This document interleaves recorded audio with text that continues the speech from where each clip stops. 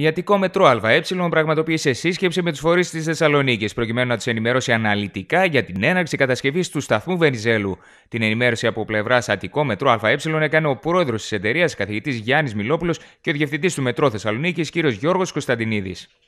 Σήμερα ήρθε η ώρα πλέον ο σταθμός να ξεκινήσει. Έχουν διευθετηθεί όλα τα ζητήματα. Έχει λυθεί το δίλημα με την πραγματικότητα σαν απάντηση. Η πραγματικότητα λέει ότι η Θεσσαλονίκη χρειάζεται και τα αρχαία και το μετρό. Άρα λοιπόν η λύση την οποία υλοποιούμε αυτή τη στιγμή είναι μια λύση η οποία προϋποθέτει και οι αρχαιότητες να μείνουν στη θέση τους και ο σταθμός του μετρό να κατασκευαστεί σε μεγαλύτερο βάθος. Μια προφανής λύση εξ αρχής, την οποία είχε αρνηθεί όμως επιμόνως η προηγούμενη διοίκηση, προκαλώντας καταστροφικές, θα έλεγε κανείς, συνέπειες στη Θεσσαλονίκη, αλλά και στο ίδιο το έργο.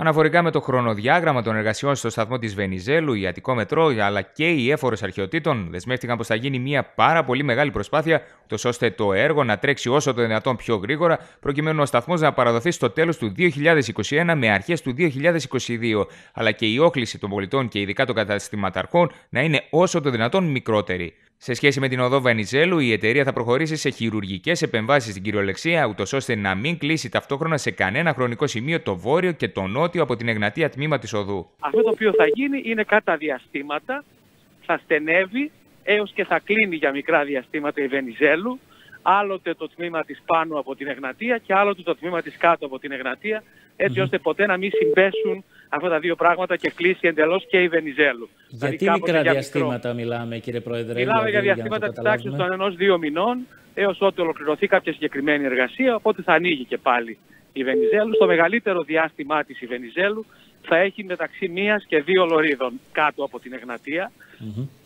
Και στο μεγαλύτερο διάστημά της Βενιζέλου πάνω από την Εγνατία θα παραμείνει ανοιχτή.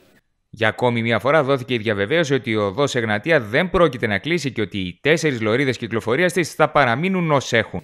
Σε ό,τι αφορά την κυκλοφορία, επίσης να διαψεύσω για μια ακόμη φορά κατηγορηματικά ότι κάτι θα αλλάξει στην Εγνατία. Η Εγνατία θα συνεχίσει να έχει τέσσερις λωρίδες κυκλοφορίας όπως είχε και όπως έχει σήμερα. Ναι. Άρα ουδέμια αλλαγή δεν θα υπάρξει. Είτε μονοδρόμηση, είτε κλείσιμο όπως ακούστηκε από κάποιους καταστροφολογικά.